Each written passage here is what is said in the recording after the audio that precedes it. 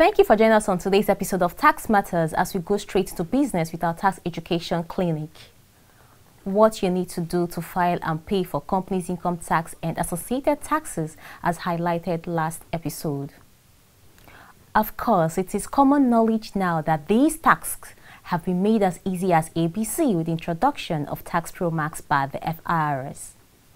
How does Tax Pro Max work? All over the world, tax administration is being automated and FIRS has also taken the lead uh, trying to automate our tax processes from end to end. And uh, the name of the solution is Tax Uh, a part of the canons of taxation is convenience. Uh, this solution will make tax payment very easy for our taxpayers, where you can file, you can register, you can do your filing, you can do your payment. Anything you need to do about, you know, tax uh, filing, that can be done at the comfort of your house. The Tax Pro Max solution is a proprietary software for tax administration and it's developed in-house. It's managed by staff of FIRS to address some challenges that our legacy system had. First of all, we wanted to get a clean data. Now, working with a clean data will help you to achieve better goals. We had so many duplications and mix-ups in our legacy data, and we said, see, we're working with e-systems now worldwide. And with the COVID-19 coming around, it opened our eyes to see that we can actually make doing business a lot easier in Nigeria. Hence, the Tax Reform Act became active. So we start with the registration process. Now, being that CAC is the governing body for corporate registrations in Nigeria, we validate all registrations with the Corporate Affairs Commission. So if you have issues that were not settled properly, like you're not active in the corporate um, CAC platform, you might not be able to be registered on the Tax Pro Max platform. Now, all you need to do is go and settle your annual returns and get yourself active. Now, you can't be running a business in Nigeria and not be properly registered in Nigeria.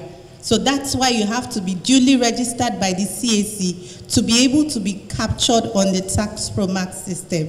Now, the Tax Pro Max system, with the bid to give you eyes eh, to what you're doing, has a platform where we give you your own login details. So whatever your tax account is, you have eyes to it as well as the service. So we're not doing anything behind your back.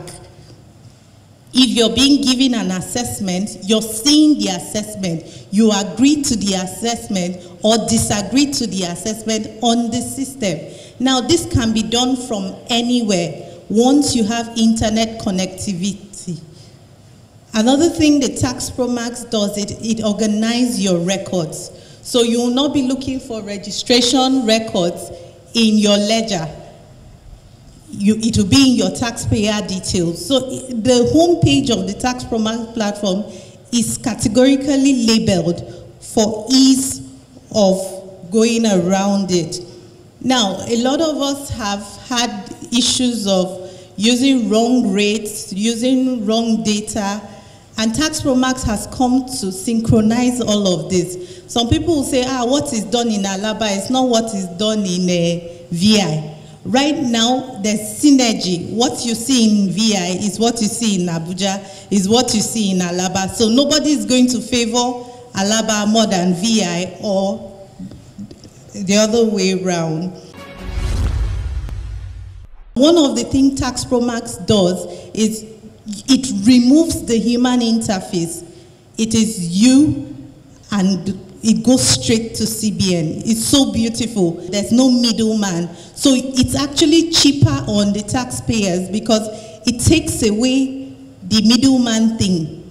You log in, you file your taxes, you pay online. Or if you're still used to the manual way, you go to your bank with your cash and make the deposit. Automatically, it shows in your ledger that you have paid for these taxes. So when they come out for monitoring and they are knocking on doors of shop owners, they look at you, ah, this man paid. He paid since, you know, just looking at probably the tablet they are holding, they can tell that you've paid your taxes. Also, a lot of us have had issues with getting our receipts and credit notes. With the Tax Pro Max system, at any time, wherever you are, you can actually log in and download your receipts or your credit notes and use for whatever business you want to use it. Also, the tax clearance certificate, it has made it easy to track the time limit. When we say 24 hours, we mean 24 hours. Now, if you're not issued within 24 hours, you'll be given a reason why you were not issued. So it, it makes it beautiful and open for both the tax authority and the taxpayer. Of course, Tax Pro Max, like every system, is work in progress. One of the challenges we have as a service is we, we're trying to ensure that there's ease of doing business. But as our stakeholders, one of the reasons we're here educating you is the fact that you've actually not accepted the solution wholeheartedly. Okay? So we need you to understand that if you don't accept the solution, you wouldn't understand the solution. And if you don't understand the solution, you will make costly mistakes. When I say costly mistakes, you'll make mistakes that will lead you to penalties that you would have avoided if you took your time to understand the solution. Now, the service has made provision for self-service stations at our individual tax offices, and we have focal officers that you can speak to. So if you have any issues, if the officers in the front desk are not answering you, you have the right to speak to the tax controller. There's no tax controller that will tell you, I won't speak to you. It's your right to be served right. So you need to exercise your right and request to speak to the tax controller. Get your complaints. Now, most of us come complaining verbally. Now, the problem with verbal complaints is your word against my word. So you need to document all your complaints and address them to the tax controller.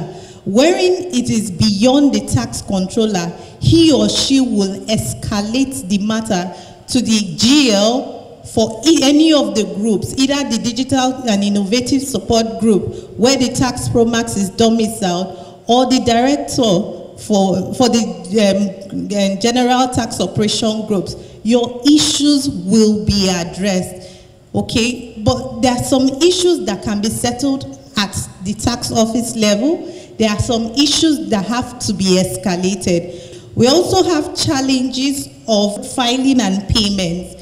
Now, I would like to explain that filing must be done on or before your due date.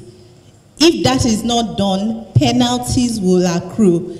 Management has put in a lot of infrastructure to support the system and I can stand here proudly to say that in the last four months, the system hasn't had reasonable downtime because management has supported the system to function for my good and for your good.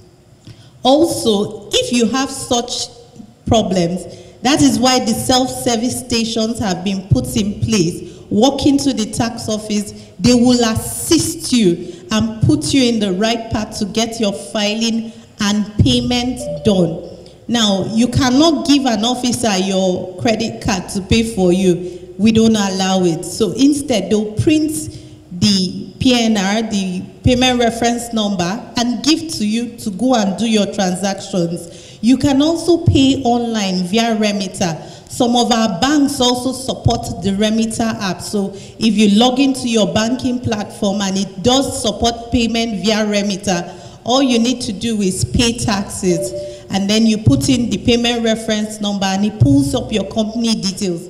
Once you proceed from there, your tax ledger is automatically credited within 24 hours.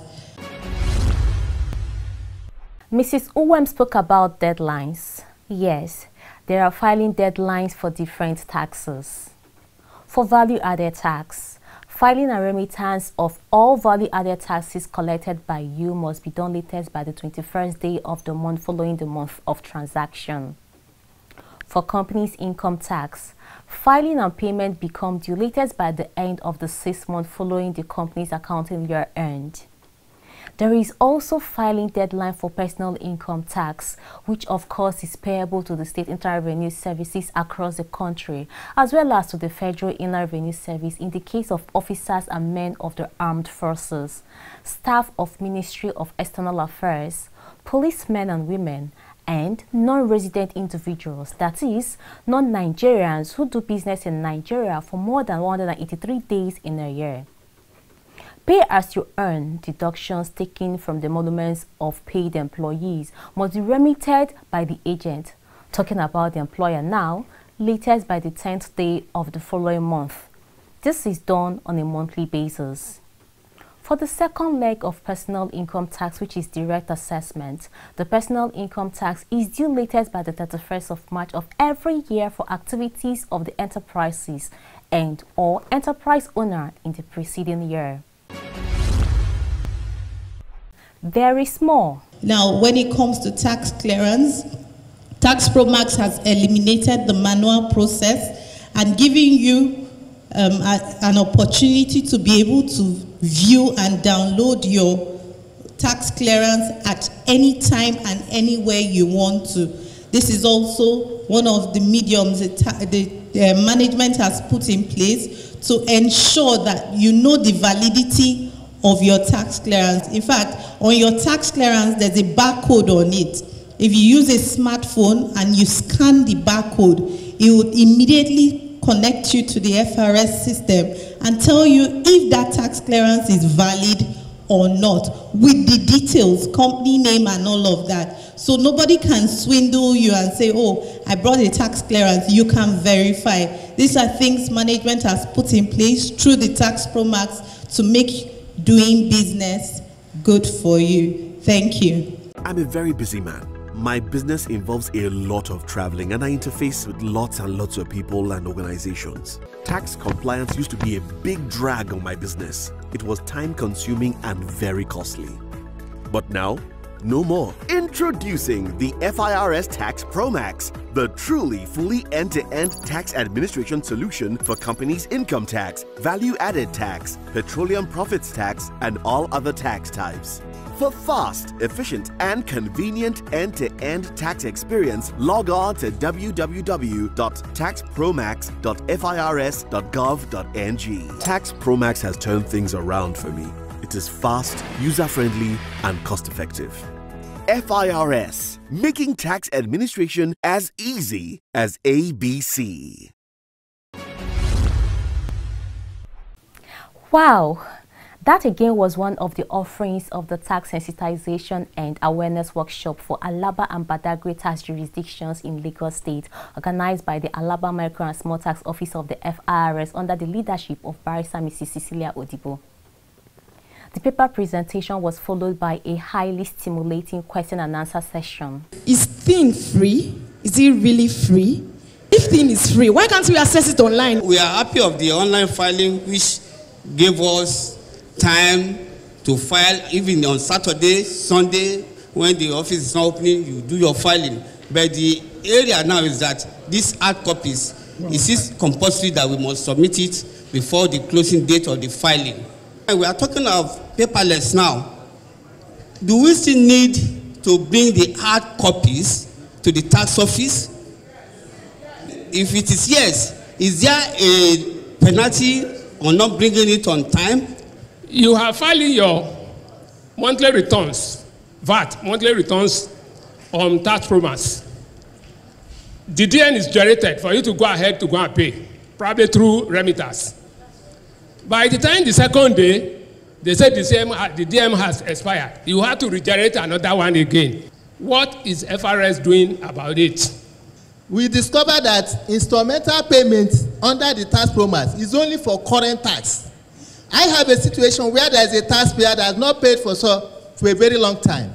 And I decided to bring him into the tax net. Now, unfortunately, those years that have expired according to the tax promise but the money to pay under the self assessment is not there what is the FRS trying to do in order to ensure that the instrumental payment can be done and then tax can be paid because what they tell you is that ta uh, tax promise has closed it if it's not a current uh, period there's nothing they can do about it. are you supposed to pay vat on a product you pay tax as you are clearing?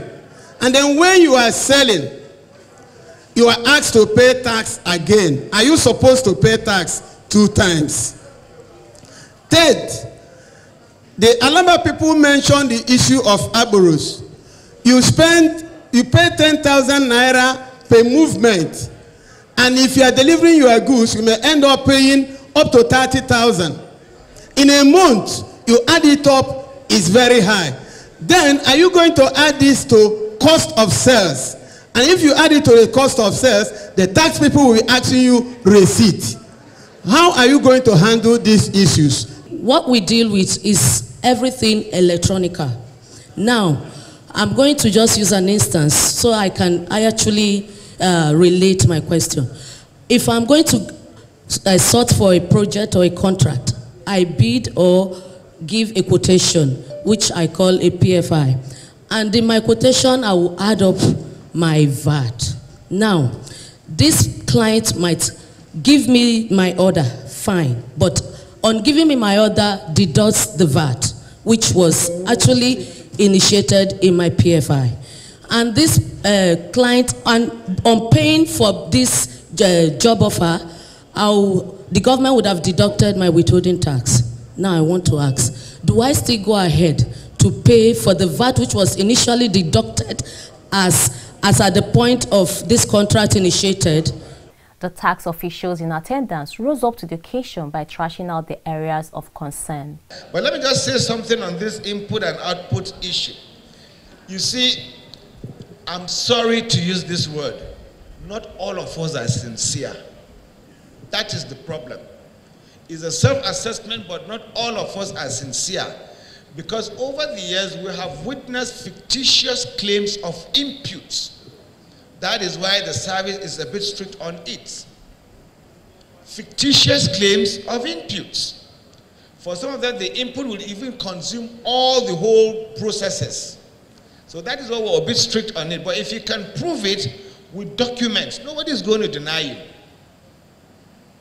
And in the nearest future, very soon, we're working on what we call the invoicing, where only certified and genuine inputs, you know, can be used and claimed, you know, while, while computing your final VAT. So just be a little patient with us. But on input, there is no issue with that. If they are genuine, you will not be denied. And that's why I, I emphasize on you having your proper documentations and, you know, record keeping. And he also talked about tax pro enterprises and limited and all that. We know what enterprises are and we know what limited liability companies are. And for all of them, we have the kind of taxes that they pay. But for VAT is general. So if you're a limited liability company, you're now registered with the CAC, and we need to use your, uh, your RC number to validate you in order to avoid duplication like in the past we were using the web portal. And for the enterprises, we're working with the NIMC to also use the NIN to validate so that we have, you know, one, one TIN for an individual, unlike in the past. The fact that you're not a limited liability company, you're bound to pay certain taxes like the VAT. While your income tax goes to the state, as an enterprise, you're also registered on the tax pro for the purposes of VAT. On the PRN, you see, the way this thing is, when it is on or before your due date, you can generate your PRN and it will not expire. If your accounting period is January to December, you have that six month grace as given to you by the government, isn't it? You can decide to generate your PRN from January down for six months till June, and it will not expire.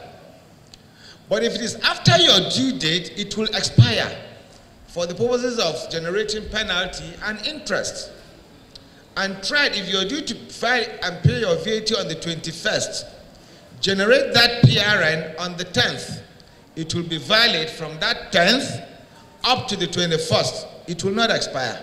TCC and strict processes. You see, from the name, it is called Tax Clearance Certificate.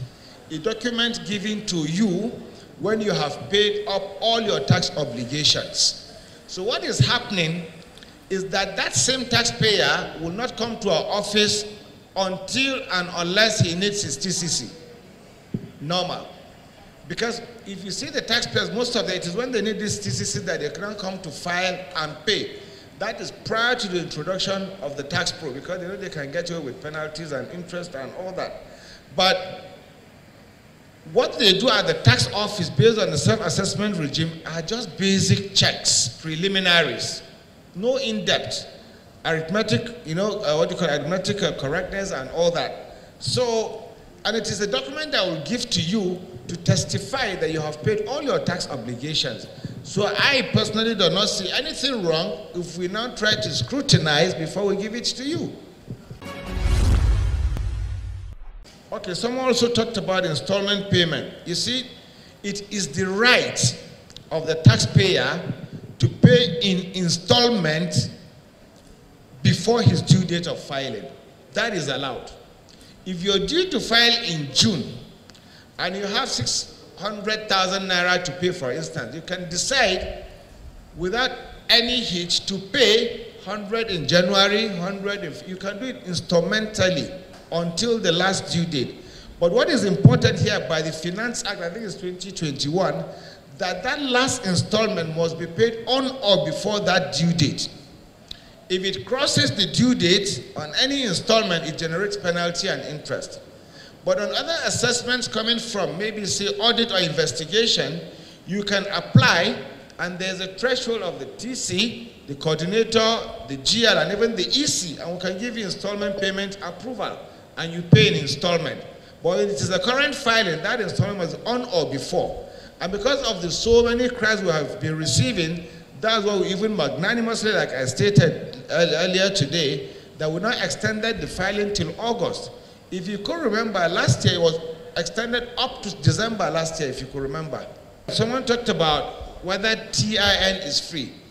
Taxpayers identification number is free of any charges. Absolutely free of any charges.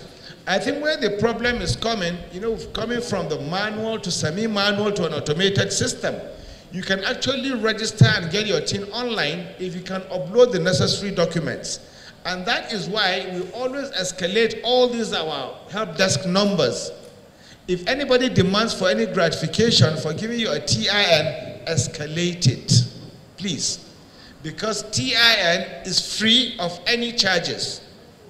You don't pay anything.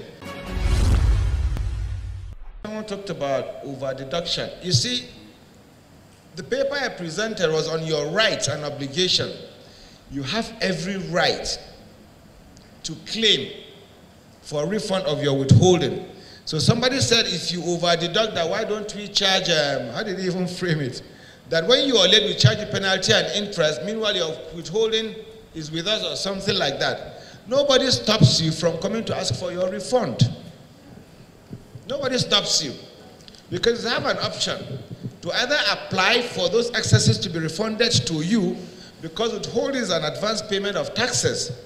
If you have been, if you have some withholding or maybe say a million naira, and at the end of the day, you probably have used just half of it, 500, to offset your CIT. The balance thereof of 500, by law, by your right, you can apply and be refunded back. Or you leave it to offset future liabilities that may come up. So nobody stops you from using that your credit note. And of course, in the same vein, if you are late, we'll penalize you for being late, for delaying government's money. And these words of advice from the Deputy Vice President of the CITN. Uh, when a patient is sick, he looks for a doctor. When someone is in business and is a taxpayer, there's need for you also to patronize tax consultants because more often than not, they will be the people to guide you. Like uh, the, those trading or in one form of business, your association can engage five, ten, depending on the number of the trade group. If you have traders that are, say, 50 in number, each one of them may not be able to pay consultants. You, the association can get five, you know, 10 to service that group. And by so doing, you know, it will increase your level of compliance. That cannot be overemphasized. As we always counsel on this program, do not navigate the field unaided. Seek professional advice, and that should come only from duly licensed and duly accredited tax practitioners. If you have enjoyed this episode, let us meet again on this same platform next week. It promises to be even bigger and better. Thank you for watching. Bye for now.